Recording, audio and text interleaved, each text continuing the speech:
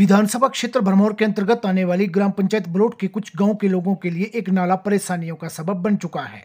वहाँ के लोगों का कहना है कि जब भी क्षेत्र में हल्की बारिश होती है तो इस नाले का जल स्तर बढ़ जाता है और इस नाले पर बना वैकल्पिक पुलिस की चपेट में आ जाता है। ग्राम पंचायत ब्लॉट के प्रधान देवराज का कहना है कि ग्राम पंचायत ब्लॉट के एलमी कलौस गेट गोवाड़ खिलकर, कलेतर, थला और चुनूनू जैसे गाँव के लोगों को डिपों का राशन घरों तक पहुंचाना मुश्किल हो गया है। प्रधान का कहना है कि इन गाँव से हर रोज कई स्कूली बच्चे इस नाले पर पुल न होने के कारण कई किलोमीटर लंबे जंगली रास्ते को तय कर स्कूल पहुँच रहे हैं।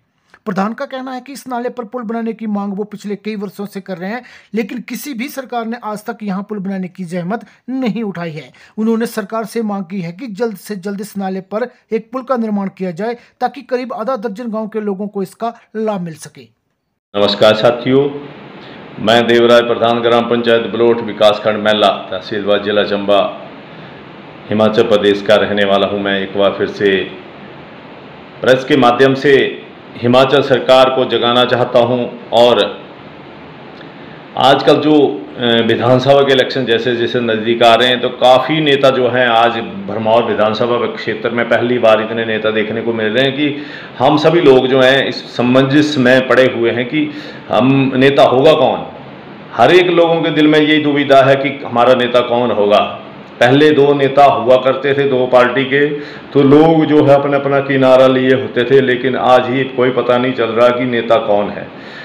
तो बड़ी अच्छी बात है, चलो कोई बात नहीं, नेता तो बड़े हैं। लेकिन जहाँ तक मेरी पंचायत क्षेत्र बलोट का सवाल है, इसमें काफ़ी गाँव जो मेरी पंचायत के आते हैं, इस खड्ड की चपेट में जहाँ अलमी से होकर के ग्राम पंचायत खुंदेल और बलोट को टच करती हुई, इस खड्ड ने लोगों का जीना हराम कर दिया है।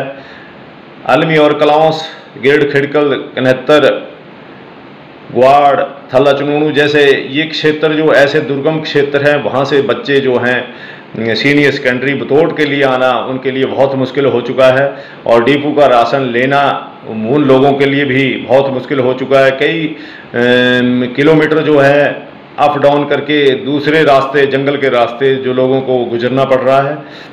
और जब यहाँ के लोग बीमार हो जाएँ तो उनके लिए तो एक बहुत ही मुसीबत का सामना करना पड़ता है। इसके बारे में मैं कई बार जो है प्रशासन, जिला प्रशासन को भी और सरकार को भी अवगत करवा चुका हूँ और एक बार फिर से मैं अवगत करवाने जा रहा हूँ। जैसे जैसे विधानसभा क्षेत्र के चुनाव नज़दीक आते हैं तो नेताओं की होड़ बढ़ जाती है, लेकिन इन लोगों की सुध कौन लेगा? वो किसका ठेका होगा? तो मैं सरकार और प्रशासन से ये मांग करना चाहता हूँ कि अगर मेरे कहने पर कोई शक है आपको तो इस वक्त जो है आप जिला से किसी उच्च स्तरीय अधिकारी के नेतृत्व में एक टीम भेज करके इस क्षेत्र का दौरा करें कि कैसे लोग जो है किस रास्ते से आ रहे हैं और सच्चाई क्या है इसमें।